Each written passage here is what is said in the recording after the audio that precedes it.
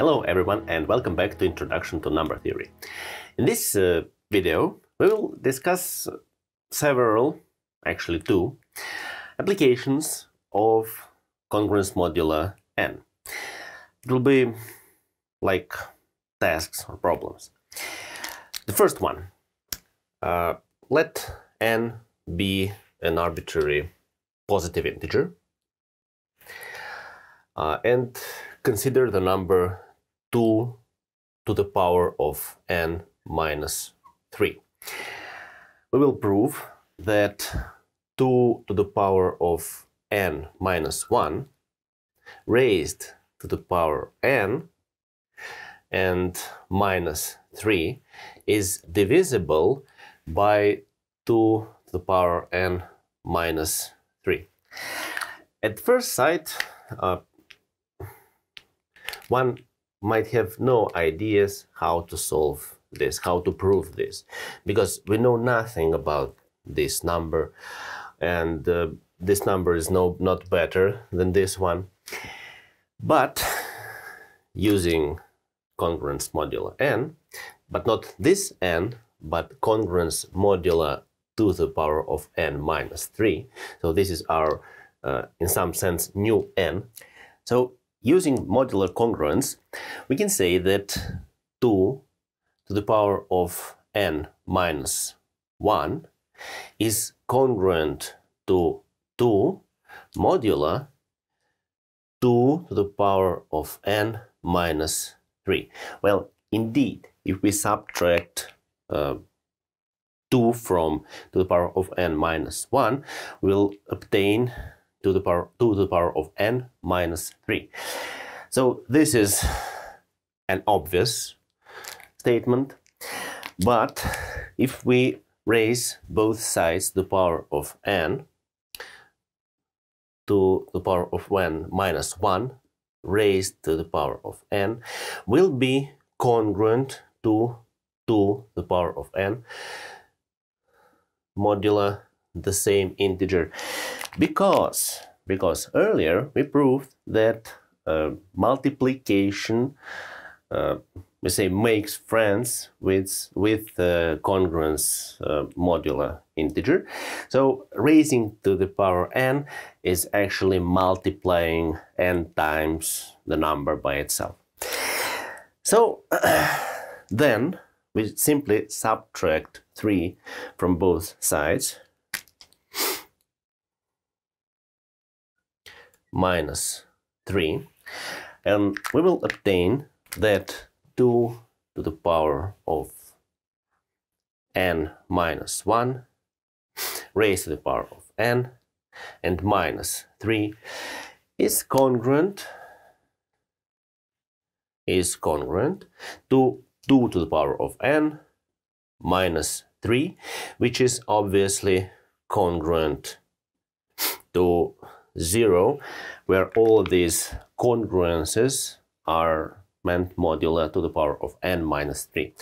Thus, since this number is congruent to 0, then it is divisible by to the power of n minus 3. So, not knowing anything about this number and of course about this number, we can prove that one of them is divisible by another using congruence modular the one that is over here. The one that the other should be divisible by the first one. Another example. Let's consider once again an arbitrary integer n, a positive integer, but this time we will assume that it is odd, not divisible by 2, and also suppose that we have integers a and b such that a plus b is divisible by n. And now consider the fraction a to the power of n plus b to the power of n divided by a plus b. And the task is to prove that this fraction is not only an integer, but an integer divisible by n. Well, first of all, uh, let's try to prove that it is an integer. It's not so obvious. But since n is odd, then we know that a formula holds a to the power of n plus b to the power of n is equal to a plus b multiplied by a power n minus 1 minus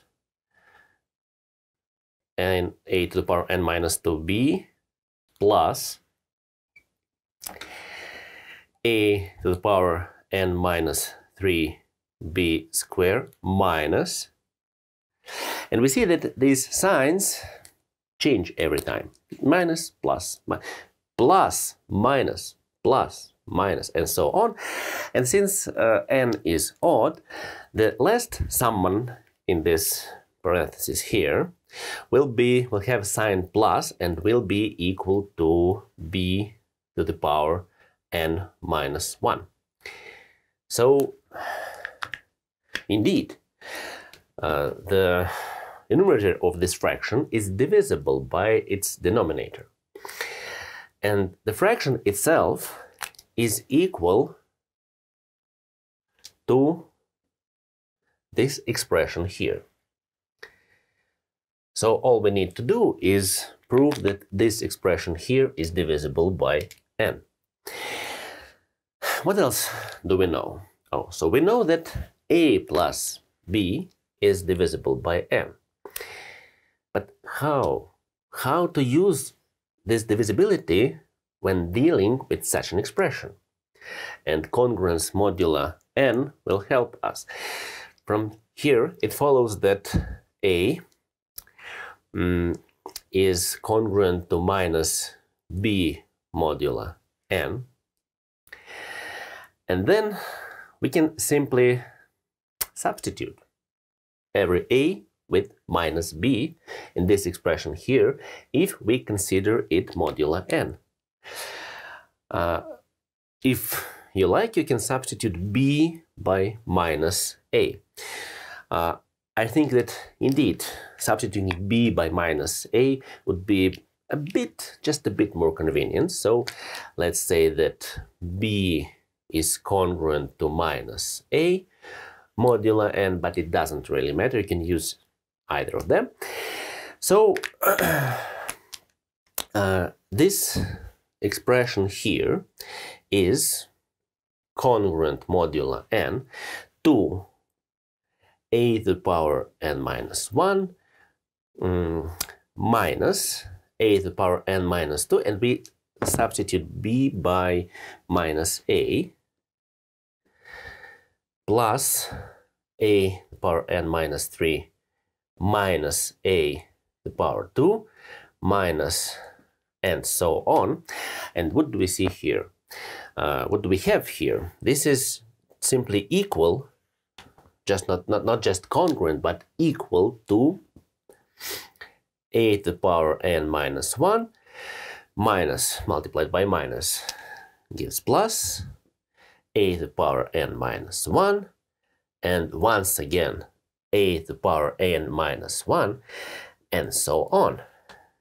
So it is simply equal to a to the power n minus 1 multiplied by the number of summands in this expression. And we see that the degrees of uh, a change from n minus 1 to 0 and degrees of b change from 0 to n minus 1. So we understand that there are exactly n summands in this expression. So multiplied by n, and this is obviously congruent to 0 modulo n. Therefore, the original expression is congruent to 0 modulo n, thus divisible by n, and this is what we wanted to prove.